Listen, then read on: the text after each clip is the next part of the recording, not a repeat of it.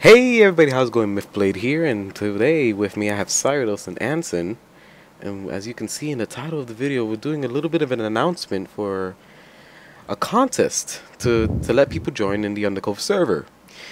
Now, what we will do, we will open an, uh, open a whitelisted contest server for a month, a single month, and that's it. The server will be a vanilla server with the exception of us being moderators. In this month, you can post videos of the community stuff, etc. You doing whatever you want. You can post yourself using the bathroom, you know, taking a shit in the Minecraft toilet. You do whatever you want, alright? Now, uh, Anson will continue with what else you can do. We will check on the server now and then, and maybe even play ourselves to see what you've been doing.